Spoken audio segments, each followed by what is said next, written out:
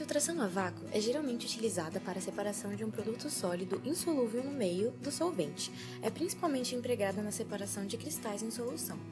Para realizar uma filtração a vácuo, você vai precisar de um funil de Buchner ou cadinho de vidro com placa porosa, um anel de vedação, um kitasato, mangueiras de borracha, bomba e suporte universal com garra. Caso for utilizado o funil de Buchner, será necessária a utilização de um papel de filtro também. É importante escolher um papel de filtro suficientemente grande para cobrir todos os furos da placa inferior e que ainda assim não suba nas laterais do funil, pois assim parte da amostra pode passar diretamente pelos furos do funil.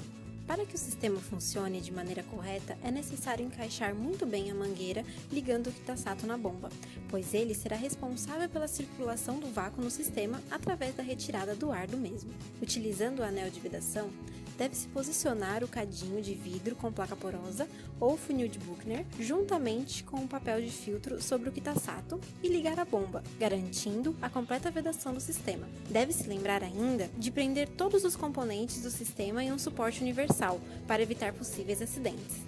A filtração a vácuo ocorre de maneira mais rápida em comparação com a filtração simples, que conta apenas com a força da gravidade, pois ao cair no interior do kitasato, o líquido não encontra resistência do ar e ainda conta com a pressão exercida pela bomba. A filtração a vácuo é uma técnica muito útil e amplamente utilizada. Então, para garantir o sucesso e eficácia de tal método, verifique todos os pontos abordados e bom experimento. Agora vamos para uma demonstração prática. Este é o exemplo de uma filtração a vácuo. Utilizamos água e pérolas de vidro para simular uma solução que seria filtrada. A movimentação do becker, deixando o sólido em suspensão, facilita a filtração e diminui a possibilidade de utilizar água para retirada de sólidos do fundo do becker. É importante destacar que a mangueira utilizada no vídeo não foi a melhor escolha, pois esta é uma mangueira de água e não uma mangueira apropriada para filtração.